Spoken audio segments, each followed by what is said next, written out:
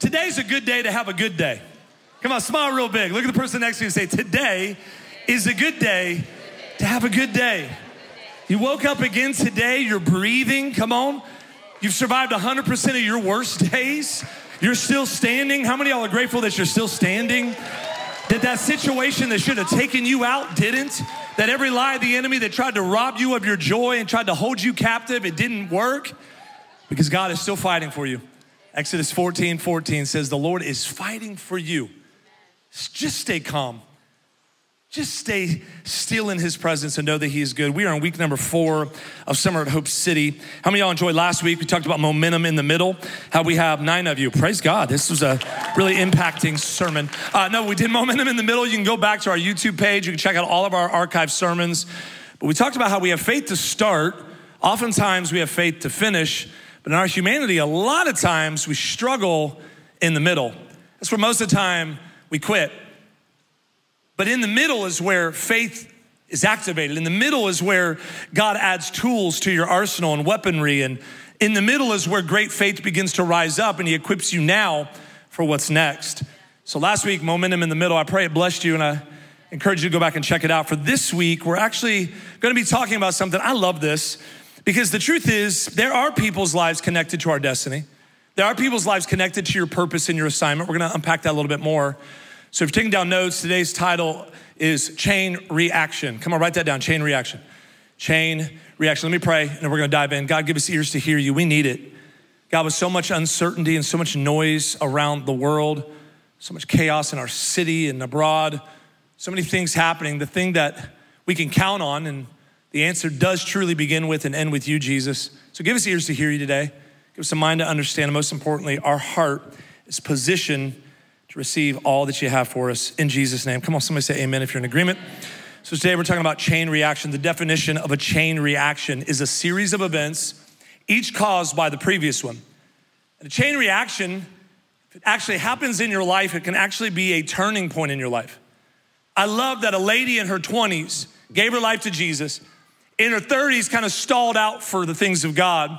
In her 40s, got a little bit more bold.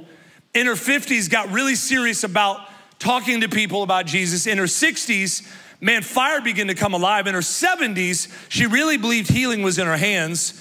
Walked over to my mom at a Kroger in Grove City, Ohio, and talked to her about Jesus, and it changed everything in my family because she believed that when she woke up, she still had a purpose and that there were people attached to her destiny. So when she talked to my mom, it caused a chain reaction. My mom showed up to church, didn't find religion, found relationship with Jesus.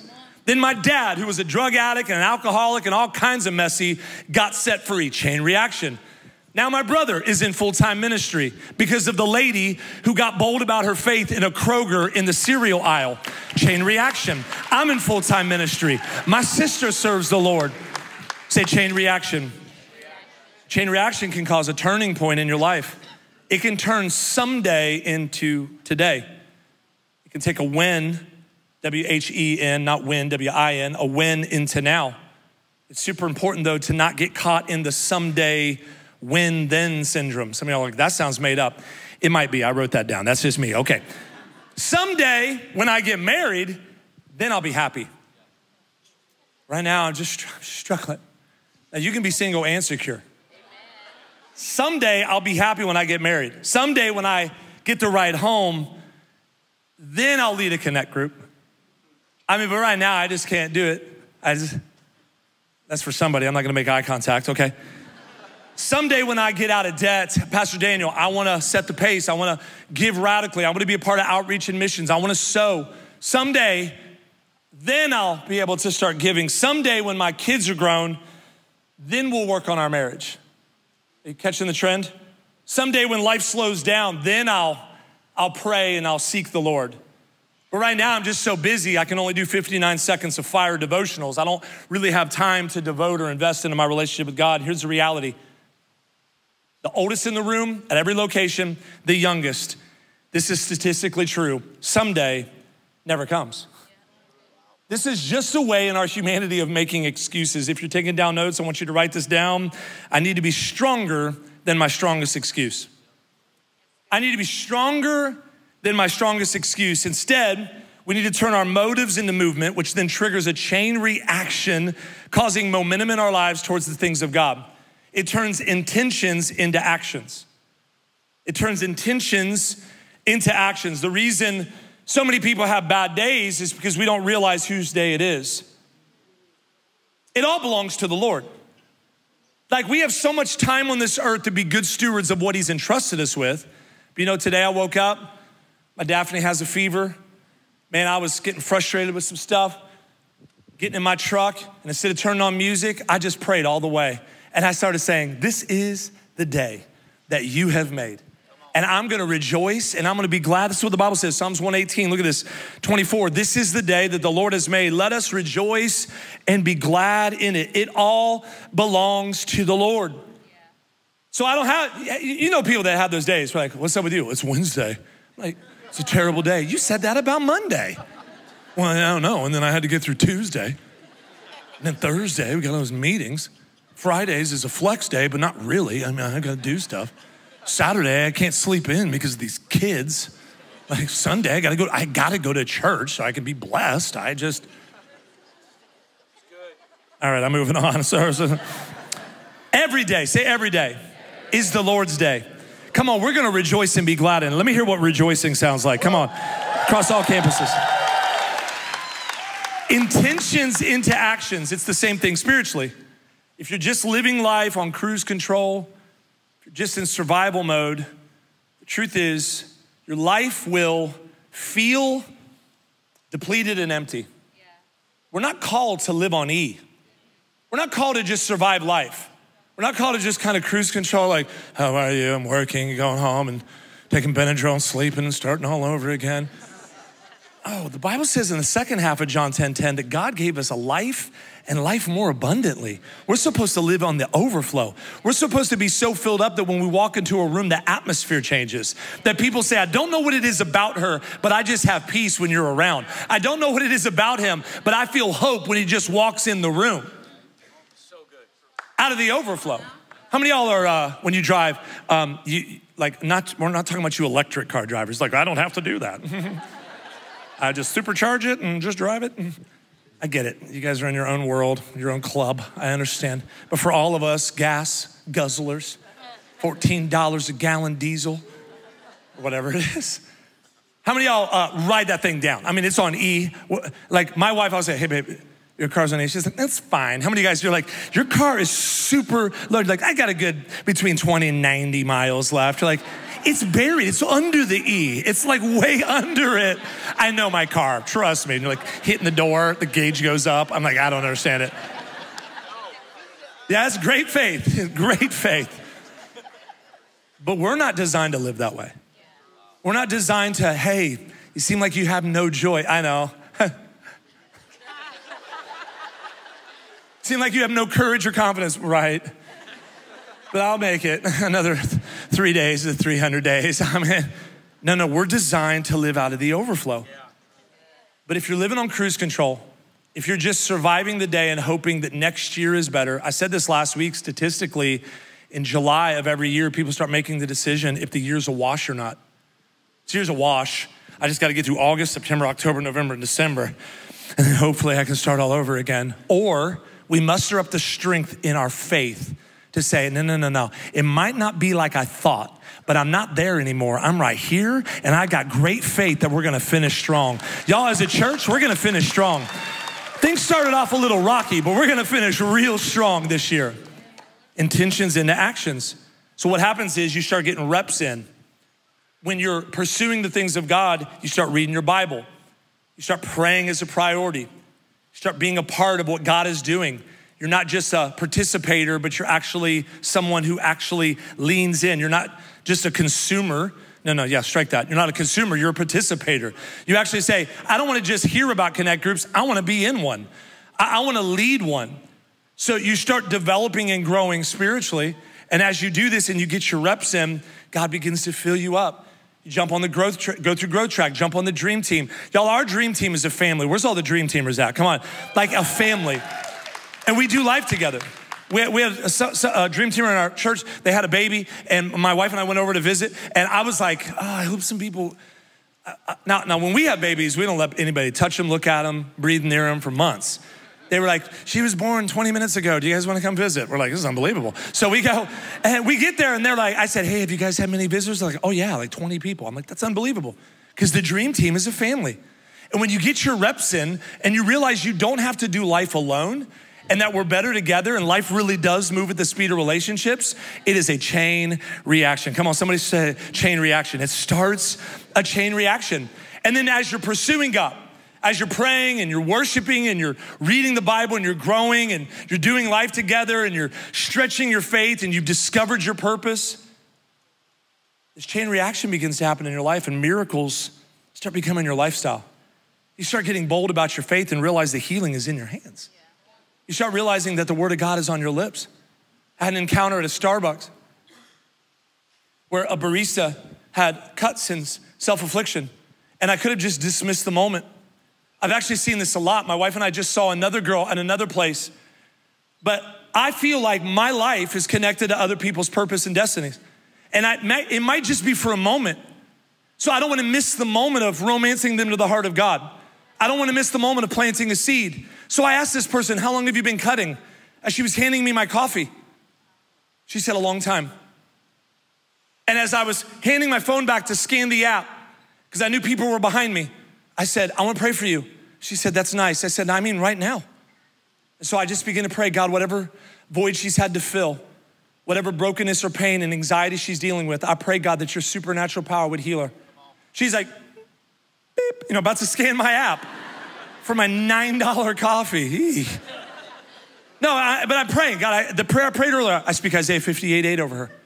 Just as sure, sure as the sun rose today. Because we've had 700 days of sun with no rain. I don't know what's happening.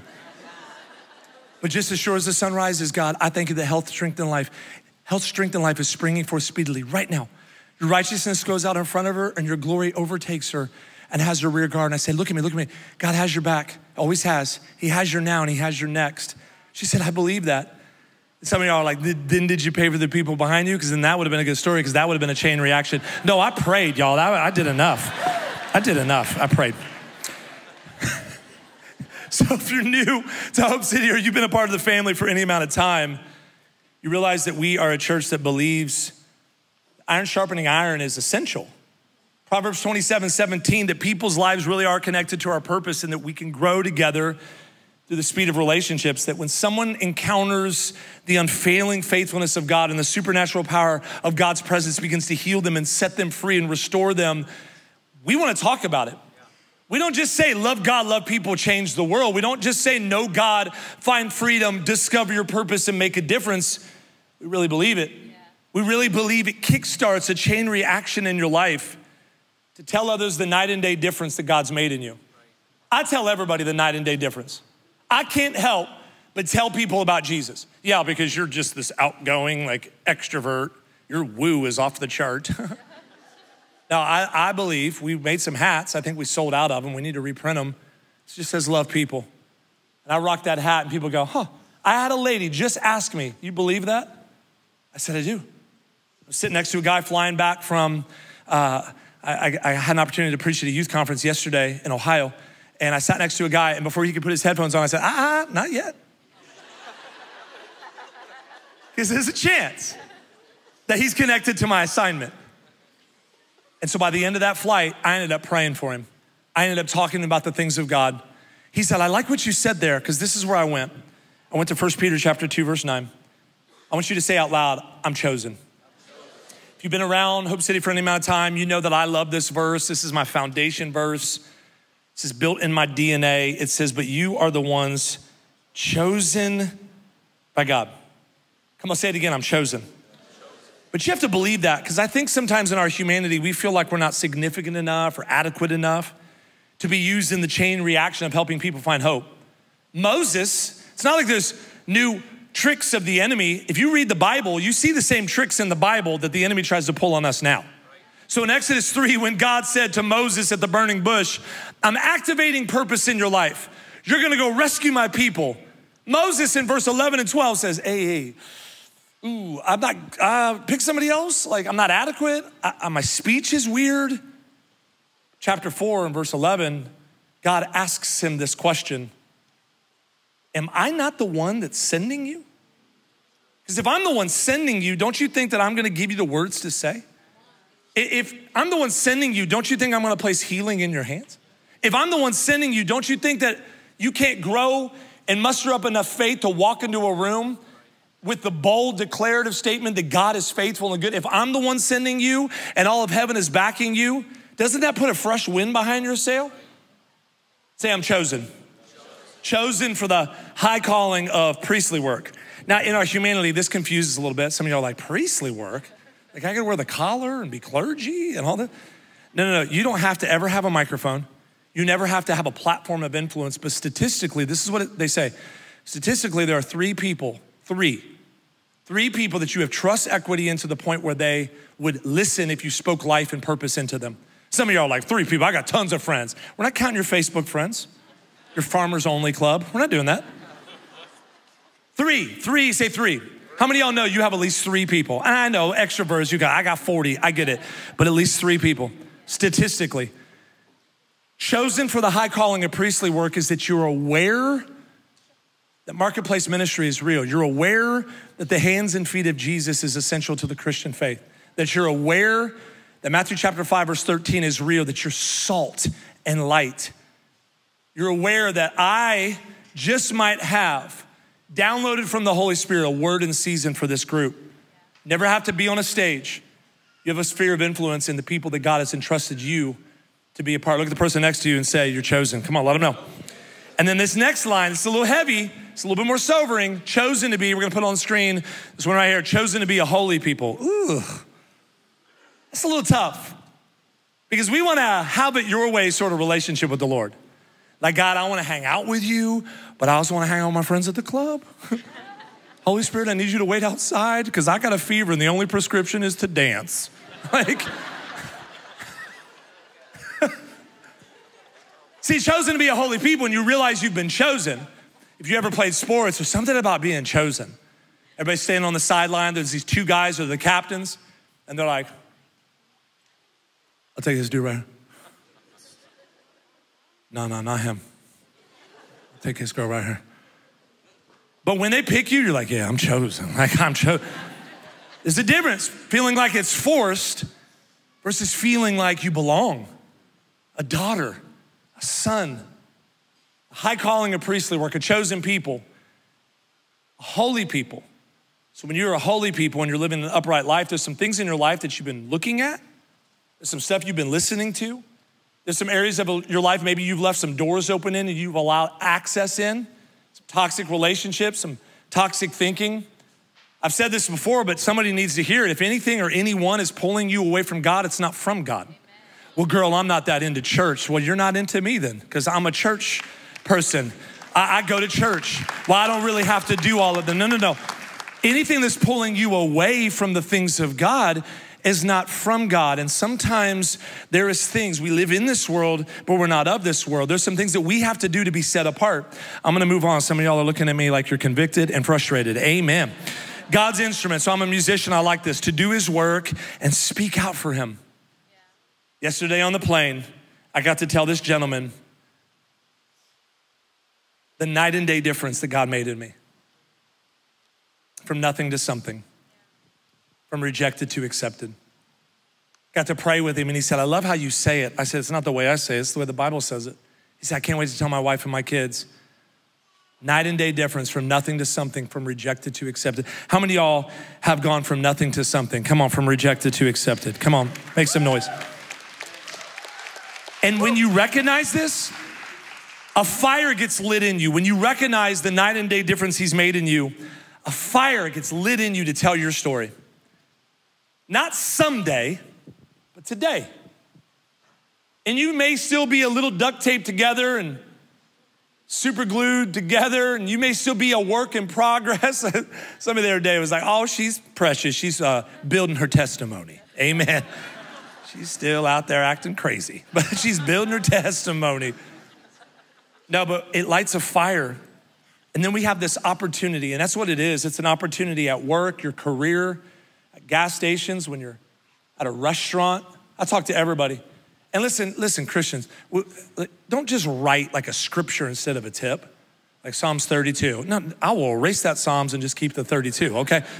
No, no, speak life into, and don't be afraid to pray. Don't, don't be afraid to say to somebody, hey, I'm gonna pray for you. And they're like, thank you, I appreciate it. And I wanna pray for you right now. I don't wanna just flippantly say it, I wanna actually follow through on it because the night and day difference has lit a fire in me. But here's something that is extremely challenging. Because when we've been set free and we've been delivered, we've been healed, Jesus multiple times said, Hey, go tell everybody about it. Go and tell everybody. go, go tell everybody what I've done. Go tell everybody the miracle that happened in your life. But the challenge that we're consistent, consistently gonna face all of our lives is the power of free will.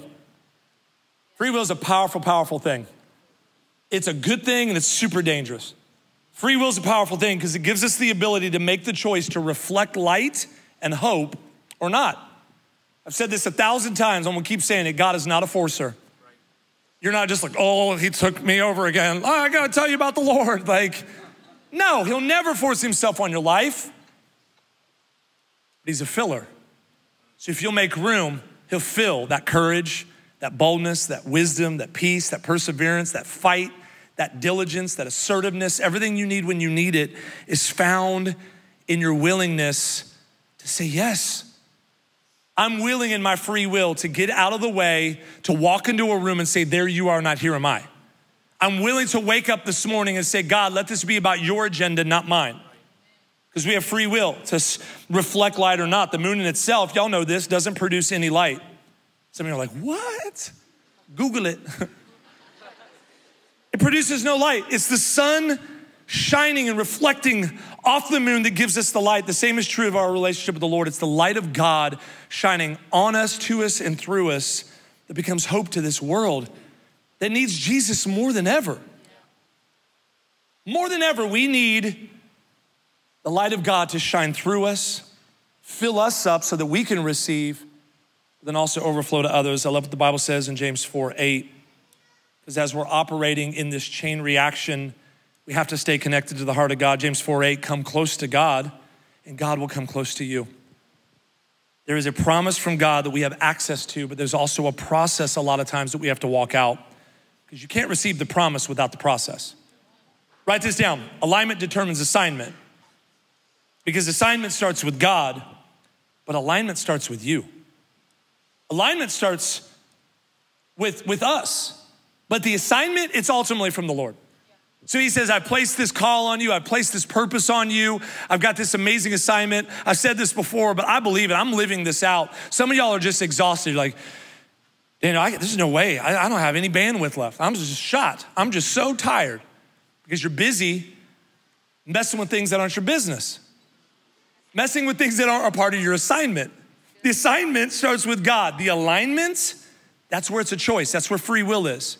Starts with us. There are things in life that work. I did an illustration, I don't know, nine months ago. Probably should have done it today. I took a wooden chair and I asked what this object was, and everybody yelled, chair. And I said, What is a chair good for? To sit in.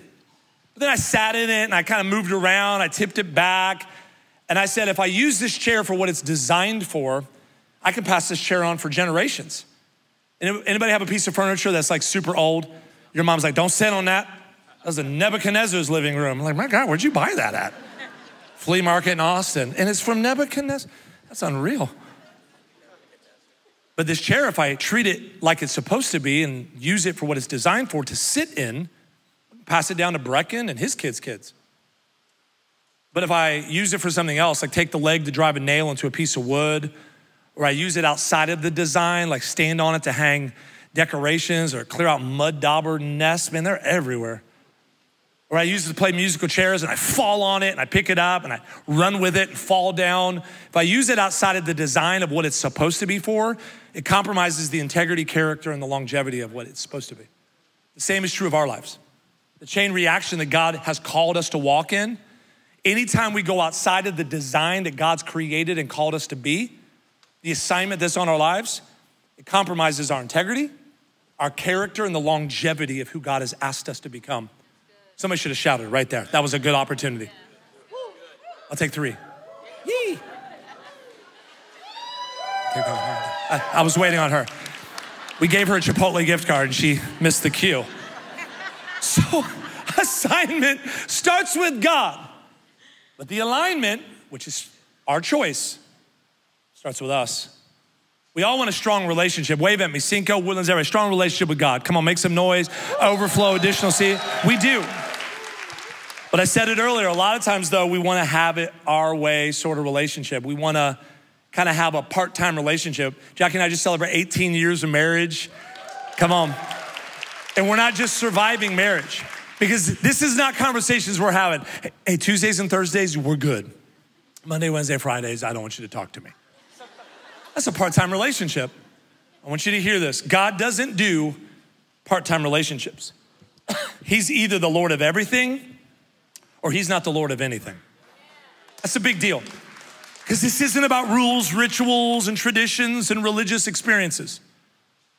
This is about a relationship with a living God who really loves you and actually really likes you. So he doesn't do part time relationships. That's why I love John chapter 15, verse 5 so much. It spells it out so eloquently. It says, I'm the vine, you're the branches. If you remain in me and I in you, you will bear much fruit. Another translation says, produce a lot of fruit. I mean, just overflowing. But apart from me, you can, read it out loud, do nothing. We have to stay aligned. We want the chain reaction to happen in our lives. I'm not going to be a highlight reel leader where we got a bunch of social media posts and we're like, I remember that guy. No, I want to be a leader who leaves a legacy. I want to pass down inheritance. And I'm not t- just talking about money, I'm talking about character and integrity and authenticity. I'm passing this down to my kids. This is not a flash in the pan highlight reel moment. This is a legacy moment. So when we align our lives to stay connected to the vine, and we're the branches, everybody do this, come on. Y'all did it, that was amazing. But it's a choice. This is all a choice. Watch this. It doesn't say you stay connected to the vine. I'm making you stay. No, no, it says if you. It's a choice. That's free will. If you remain in me. Okay, God and I in you. You'll bear much fruit, but you have a choice to stop the chain reaction in your life and your kids' lives. Because apart from me, you can do nothing. We have to stay aligned and close to the heart of God. We have to stay connected to the vine in order to fully and truly hear and know his heart. Write this down if you're taking down notes. One way to position, align your heart, stay connected to the heart of God. This chain reaction, number one, we have to listen for the leading of the Holy Spirit. We have to listen for the leading of the Holy Spirit. Notice I didn't say two, I said we have to listen for. I've said this a lot of times, but I need you to grab this. The Holy Spirit is always speaking. Because as soon as you see this, I have to listen for the leading of the Holy Spirit. I've never heard his audible voice. I'm not that spiritual, okay? It's not about an audible like, Linda. You're like, oh Lord. Oh, yeah. It could be this intuition, this, this check, this gut check, this, hey, don't go that way, go this way. I'll give you a really practical story. This happened this week. So we believe in the next generation. Uh, where's all the HCY at? Come on, make some noise. Where's HCY? That's all of our youth. We had a phenomenal summer camp, which, by the way, I know they already mentioned earlier, but we meet here, parents, every Wednesday night now in the chapel. It is incredible. Every single Wednesday night. Make some noise. It's amazing. We're excited. But uh, as everything was happening this year, I canceled all these speaking engagements. There was three specific events that I kept because we believe in the next generation. They're next. And so uh, I spoke at our summer camp and it was phenomenal. We had a great week. And then I flew to Orlando and I spoke in Orlando twice at a youth conference there. And then I flew to Ohio and spoke twice at a youth conference there. And I flew back because I want to be home with y'all. Uh, but I love this next generation. And so I'm pouring into the next generation while I get this phone call from Jackie and she said, Hey, I got to tell you something. It's happening right now in real time. I said, What's happening? And she said, I, I, I needed somebody to go by the house. Um, she's at the offices. And she said, I was like, ah, they could just go tomorrow, the next day. And she said, I felt this nudge from the Holy Spirit. That's, the, that's listening for the leading of the Holy Spirit. Let, let them just stop by today. So they're like, sure. And they just go by the house. And when they walked in, there was a tick, tick, tick, tick, tick, tick, tick, tick. And the house smelled like natural gas. Our stovetop had malfunctioned, and at the knob, it was smoking. Jackie would have just written it off and said, ah, that could go in a couple days. The fire department said the whole house could have exploded. She did the right thing. She called the fire department. I'm watching on camera. They rolling up in this place. They got it all unhooked, turned the gas off, and they thanked her for making the call. Our golden doodle, Bella. She was all alone in that house with the tick, tick, ticking and the gas and the. Bella looks like Alf. Y'all remember Alf? She sits up and she's like, I promise she's a human in a dog suit. Like, it's funny. But Jackie called me like an hour later. She said, Babe, I'm glad I was listening for the leading of the Holy Spirit. Because if I would have missed it or I would have been so dismissive of it, because we're real good about that. Some of y'all are like, that's a coincidence. No, I'm gonna give God this one and give him all the praise because he showed up again and he was faithful again. The Bible says in Proverbs chapter 3, verse 6 and 9, the message, listen, watch this, listen for God's voice in everything you do. That's pretty loaded. Everywhere you go, He's the one that will keep you on track. I love this part right here. It's gonna say somebody free, number seven. Don't assume that you know it all. Eesh. We're pretty good about that. And then the last line is pretty declarative run to God. God is so much so much more smarter than us. That's a terrible sentence, so you clearly see that he's smarter than me. So much more smarter than us. No, he is. He's He's the creator of all things. He shaped and molded us in his image. He told the stars where to go and the water where to stop. Yet he's a personal God who sees the intricacies of your heart. Yet we try to do it on our own. Yet we go to Google before we go to the Bible. Yet we go to WebMD before we go to the great physician.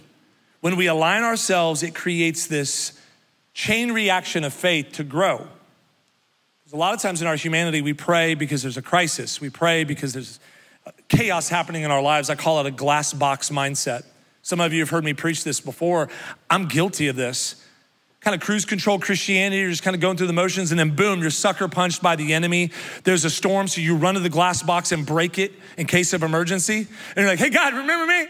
I showed up church on Sunday, I even put some money in the bucket. Like, we don't have buckets. So he's like, you're lying. It's not true. This glass box mentality that says, I'll only spend time, I'll only align my life to you when I'm in the middle of chaos instead of a daily repetition of spending time in His presence. When we pay attention, listen for the voice of God, it unlocks freedom. And I love this part right here. It unlocks joy in our lives. How many of y'all need some more joy? Come on, just be honest. We do. There's so much happening that's trying to steal our joy. But watch this Proverbs 16 20 says, Pay attention to what you've been taught, you'll be successful. Trust in the Lord and you'll be happy. Come on, a chain reaction happens. Did you realize, do you realize that joy is contagious? I know the word contagious is a little scary right now. like, you have so much joy, put a mask on. You seem really joyful. no, it's contagious. Hope's contagious, peace is contagious. Passion and compassion for people, it's contagious, but joy is contagious. Everyone is looking for joy. Everybody's looking for joy. Marketing companies spend billions of dollars marketing these big statements of people happy and full of joy. You want joy? Buy this hand cream. You want this joy? Buy this mattress. How many of you guys still have a waterbed? Be honest. There was, there was a lady in the 830 and she was bold about it. She was like, I was like, that's unbelievable. You want joy? Buy this mat. You want joy? Eat at this restaurant. You want joy? Drive this car, wear this dress, Every commercial portrays the image of joy, a joy filled person, even Preparation H. Sorry about that. The guy's like, oh, and at the end, he's okay, moving on. All right, joy, everyone wants it, everybody promises it, but can anyone deliver it? The truth is, joy is a big deal in the Bible. Nehemiah 8:10, we talk about it. The joy of the Lord is ours. Say it out loud. It's our strength. Psalms 100, verse 1 says to shout for joy. I love how God gives us these glimpses secret sauce here. He says, hey, hey, hey, shout for joy. The joy, my joy through you and to you is your strength. So shout for your strength. Shout for your marriage. Shout for your future. Shout for your financial breakthrough. Shout for that diagnosis to reverse. Shout like they did in Joshua 6 when the walls begin to fall. Shout for joy. Joy is a big deal. And God wants us as his kids to be filled with joy. Like a mom and dad want their baby to smile. I was talking to a couple outside. Their baby's so sweet. She's smiling. They're like, look at her. And they're the happiest. Like other people are like, yeah, it's pretty precious. They're like, look at that smile. Parents want to see joy and laughter on a baby. God longs for us to experience deep seated, deep rooted joy. I love what Max Lucado says. He says, the joy offered by God is different than the one promised at a car dealership or a shopping mall. God's not interested in just putting a temporary smile on your face. He wants to deposit a resilient hope in your heart. He has no interest in giving you a shallow happiness that just melts in the heat of adversity. But he does offer a joy, a deep seated, heartfelt, honest to goodness, ballistic, strong sense of joy that can weather the most difficult storms. He'll unlock courageous joy that turns us into stronger people, courageous joy that sets hope and our hope on Jesus and Jesus alone. And since no one can take your Christ away, no one should be able to take your joy. Come on, think about it. Can death take your joy? No, because Jesus is greater than death. Can failure take your joy? No, because Jesus is greater than your sin. Should betrayal take your joy? No, because Jesus will never leave you when others have ran out on you. Should disappointment take your joy? No, because though your plan might not have worked out, you know that God's plan will. Death, failure, betrayal, sickness, disappointment, they shouldn't take your joy. They can't rob you of what God has placed in you. Because Jesus promised it in John 16, 22. He said, Nobody can take away your joy. Come on, make some noise. Somebody say amen. If they can't take my Jesus, then they can't take my joy. I've realized in this journey, 18 years of marriage, 21 years in ministry now, I'm not that good on my own. Pretty messy, actually. But in order to be the husband and the dad and the pastor in that order, I have to align my life to the, to the one who created and shaped and molded me. I realize that I need more than ever the Holy Spirit. I realize more than ever I have to pray every day. Well, you get to. No, I have to. I have to read my Bible every day.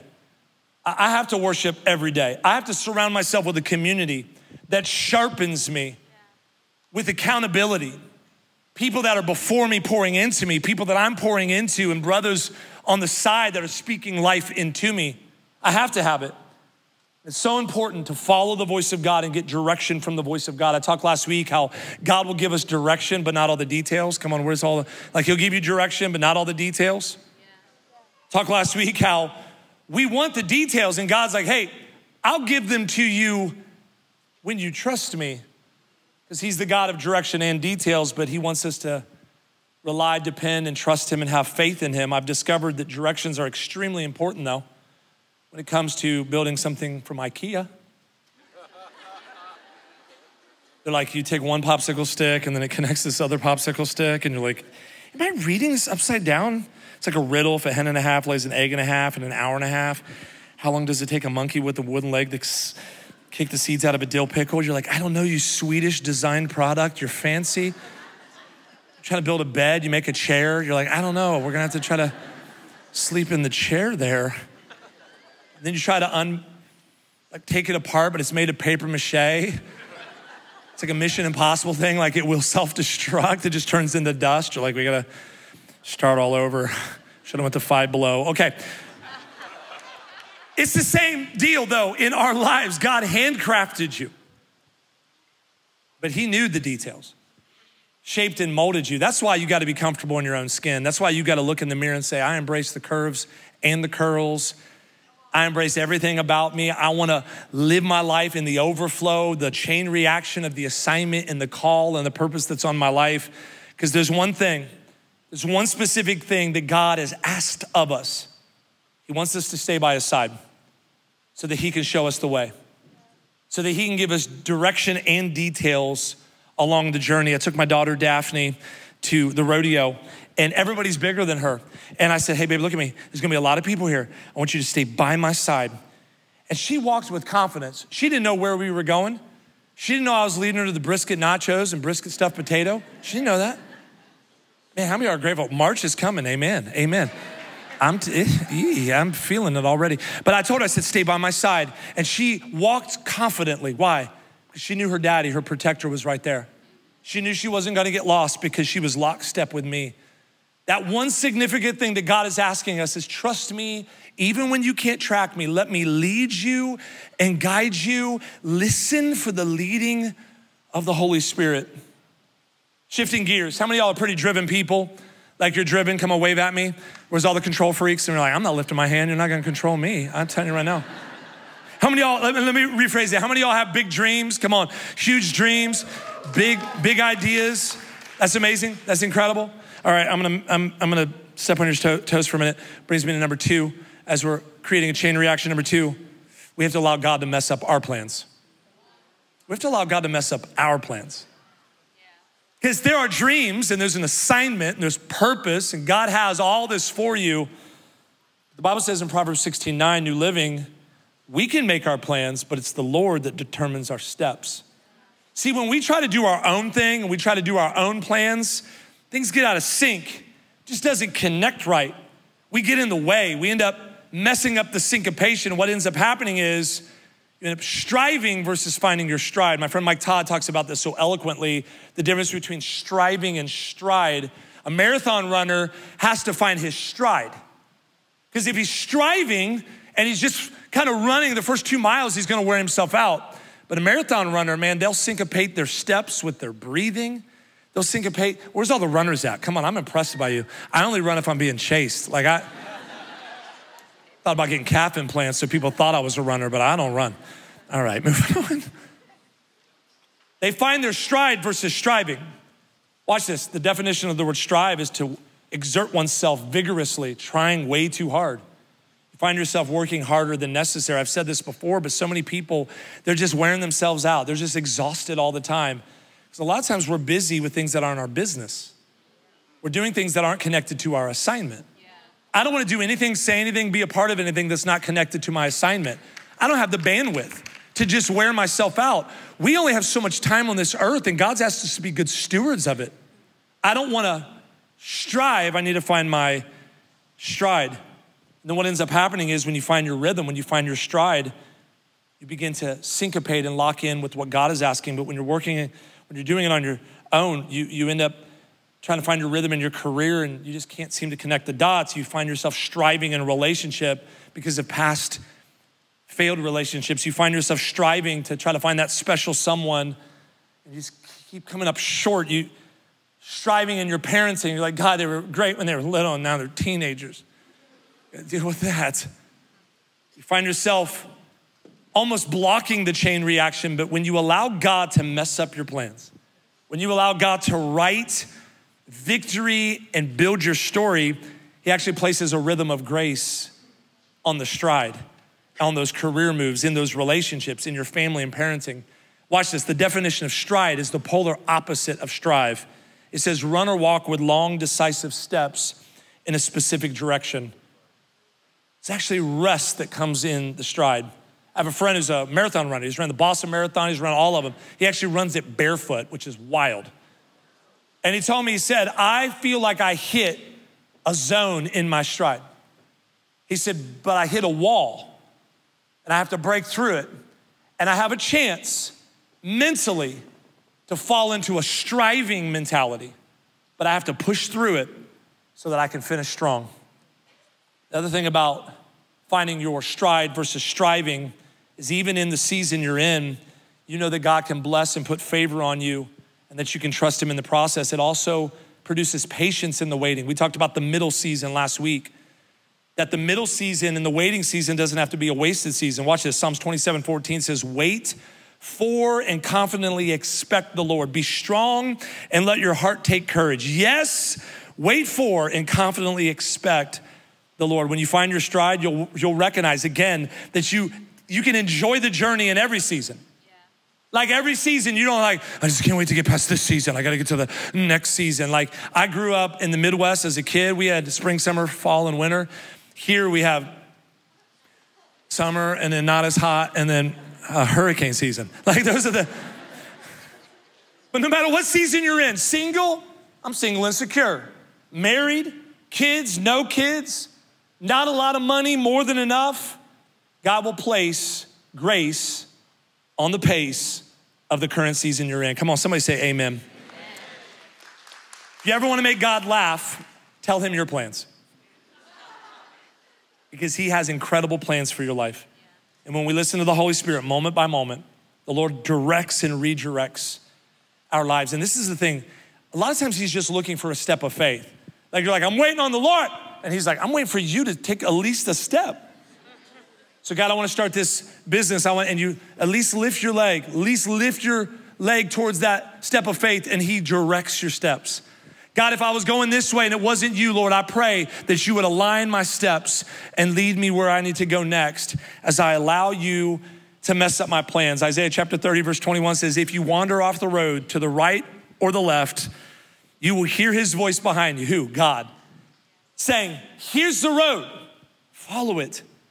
Because again, there's grace for every goof up, there's mercy for every mistake and every decision you've taken a step in the direction of. God can redeem, restore, and bring back the dreams and the purpose and the assignment. If you're breathing, God's not done yet. Look at the person next to you and say, If you're breathing, God's not done yet. Come on, that's great news. Even more great news God never holds your past against you. His grace and His mercy comes in and fixes and heals and restores, puts stitches where you've been trying to put band aids. So then ultimately, when you're listening to the leading of God's voice and you're allowing God to finally mess up your plans so He can fulfill His plan in your life, come to this place where you sync your heart to the heart of God and what ends up happening is you grow in faith. You start hearing his voice more clear. He wakes you up in the night, gives you discernment, gives you direction, begins to write and build your story. The chain reaction begins to happen. And then this last part, I love this. Number three, your life becomes the gospel. the gospel literally means the good news. Whether you're a career, your career doesn't necessarily give you the opportunity to broadcast to everybody around you the, the gospel. Your life is the gospel, it's the good news. I talk to everybody about the good news.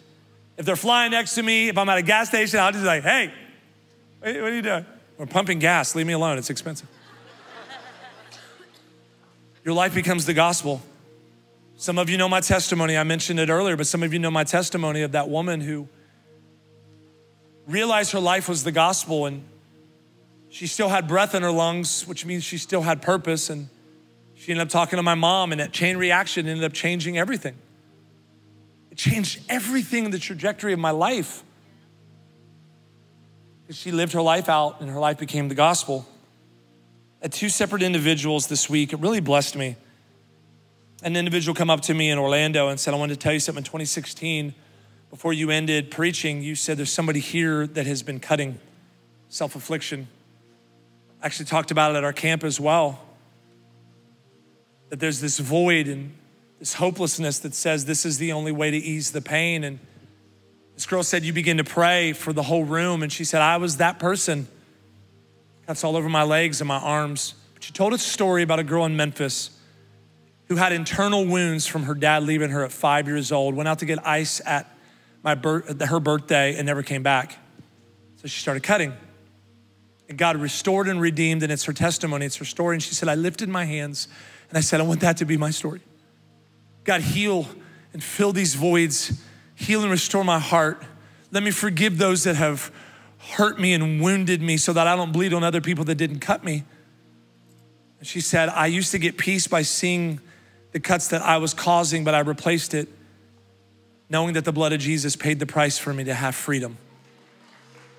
And she said, You spoke that into the room, and I wanted to tell you that was the last day I had ever cut and now from 2016 to now, this is my testimony. I tell everybody how I went from nothing to something, from rejected to accepted. It blessed me. It blessed me because I've chosen to live a life that looks like the gospel. And again, God's not looking for perfection, He's looking for your heart. He's looking for your willingness. He's looking for your simple yes. I'll, I'll say it, I'll do it, I'll give it away, I'll speak it. I'll show up and serve at it. Another girl came up to me and said, You know, my husband, I see, Yeah. She said, I want to tell you a story. She said, uh, 15 years ago, you came to our church. And She said, You look different. You had hair. I said, What's the point of that? Why was you didn't? There's no reason to add that in. She's like, and it, you don't look that bad up close. I'm like, what's happening? She said you had a testimony. this is not an intervention for the hair club. She said 15 years ago, my dad got laid off. It was a career job. And our income, my dad's income cut, I mean, it was gone. And he ended up taking another job that was a fourth of the pay. We got way behind on our house payments. They were going to foreclose. They were repoing cars. We were sitting in the living room trying to figure out how to pay the electric bill. My dad was mad at the church. He was mad at God. He was mad at everybody. She said, We heard from some friends that there was a guy coming in the town named Daniel Groves going to be doing a worship night preaching. My mom said, I think we should go over there. She said, I didn't feel like it. But my mom and I went. She said, During the service, my mom began to dig in her purse. She pulled out all the change and everything she had. When it came time for the church offering, she threw it in. I didn't think she threw a halls in there. She said she threw everything in there. I said, Mom, what are you doing? And she said, This is all we have left. She said, I remember sitting there crying and I started packing up things because we were about to leave. And she said, Pastor Mike came up and transitioned the service. And as you were walking off the stage, you said, Well, well hey, real quick, I got one more thing. I'm so sorry. I got one more thing. There's somebody here. You've given everything you have, all of your joy, your morale, your peace, it's all depleted. And something was taken from you and it's hurt.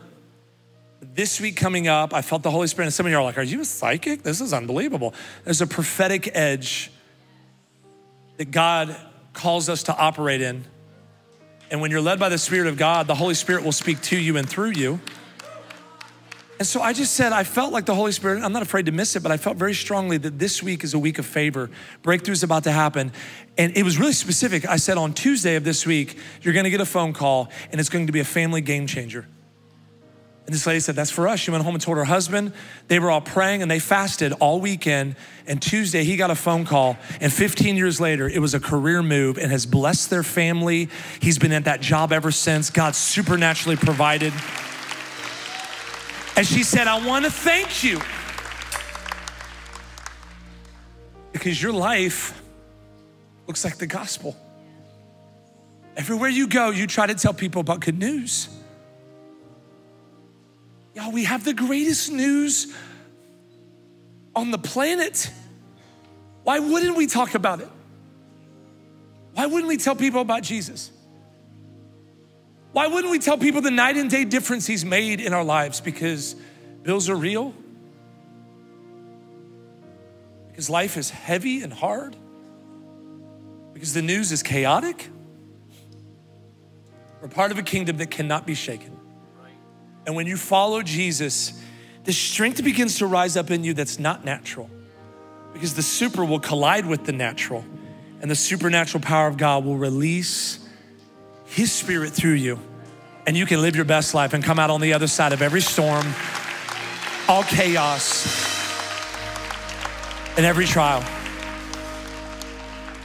So we have to learn to listen for the leading of the Holy Spirit. this is the hardest one. We have to allow God to mess up our plans. And we have to live our lives as the gospel. Every eye closed, every eye closed just for a moment. If you're in the room today and you say, Daniel, here's the truth, man. I haven't been allowing any of this. Because I know that God's not a forester, and the truth is, I've been struggling to listen for the voice of God. I've been struggling to allow God to mess up my plans, and I've been honestly struggling to live my life that looks like the good news in the gospel, but I want to. Would you, as you're sitting at Cinco here at West Houston, the Woodlands, would you lift your hands open handed, a surrendered life, and just begin to ask God, say, God, I pray today, this is my prayer on July 24th today, God, I hope to that you would place a deposit in every person, every life, every daughter, every son, every person, God, listening to my voice. I pray, God, that you would place a deposit God, let a sensitivity. I love the bridge of the song, Holy Spirit. Let us become more aware of your presence. God, we want to be aware of your voice, that intuition, that nudge, that gut check. God, wake us up in the night. Speak life into us and through us. And God, anything we're doing that's outside of the assignment that's on our lives, we give you full permission to mess up our plans and to carry out your plan. And then, God, we pray that you would unlock and ignite a fire so that we can live our lives that look like the gospel, shares the good news to everyone far from you, that encourages us because of the deposit that you place, so that we can live out of the overflow. In Jesus' name. Come on, somebody say amen. Amen, amen. Romans chapter 10, my last verse, verse 14 and 15. Three people, say three people.